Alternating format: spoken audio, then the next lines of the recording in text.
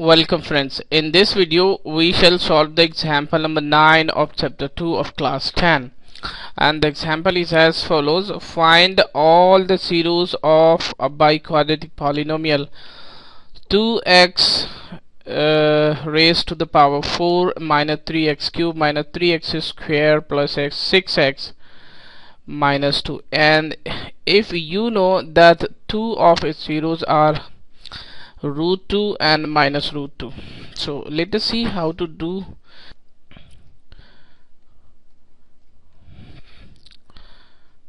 this is very important question in examination point of view. First of all we shall find a polynomial whose zeros are root 2 and minus root 2 and we let that it is qx therefore qx will be equals to x minus root 2 into x minus minus root 2 this means it will be equals to x minus root 2 and here it will be x plus root 2 finally it will be x square minus 2 and we let that the given polynomial uh, biquadratic polynomial is px therefore px is equals to 2 x raised to the power 4 minus 3x cube minus 3x square plus 6x minus 2 and since qx is a factor of px therefore we can divide px by qx and this means now we shall divide px by qx like this px is 2x raised to the fourth power minus 3x cube minus 3x square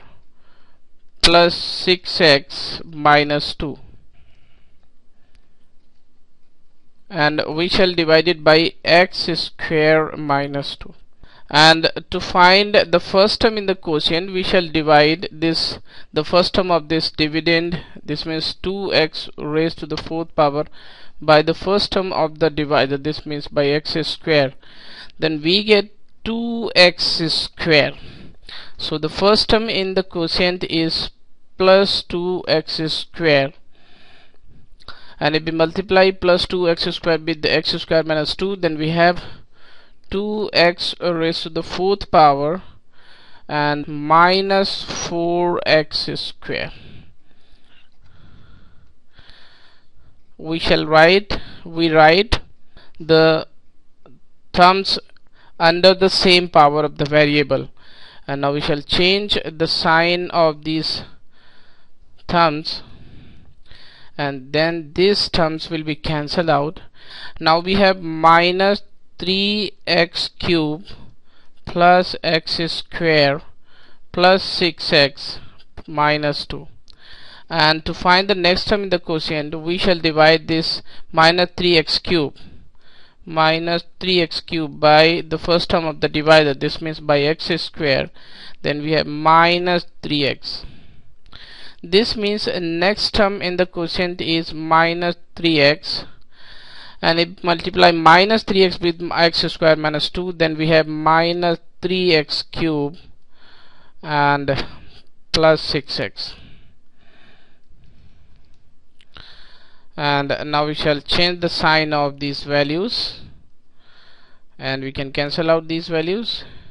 Here we have x square minus 2 and here it goes one time and then we have x square minus 2 and these two values are also cancelled out. So the remainder is 0 therefore the given polynomial px can be written as qx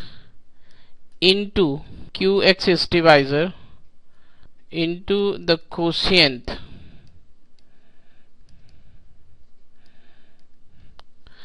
and qx is x square minus 2 and the quotient is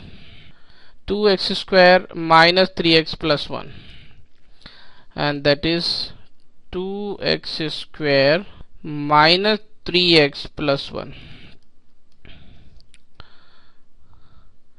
and now we shall factorize this quadratic equation by using middle term splitting method then it will be 2x square minus 2x minus x plus 1 and if we take common from these two terms then we have 2x into x minus 1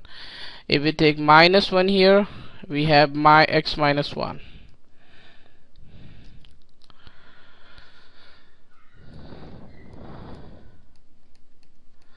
here we have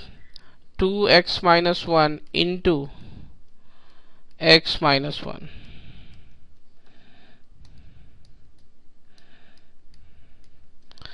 and if we put all these values equals to 0 then we have if we put px equals to 0 then we have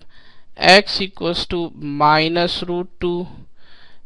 positive root 2 and if we put this value equals to 0 then we have x equals to 1 over 2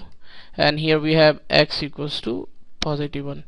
so these are the four zeros of the given biquadratic polynomial px thank you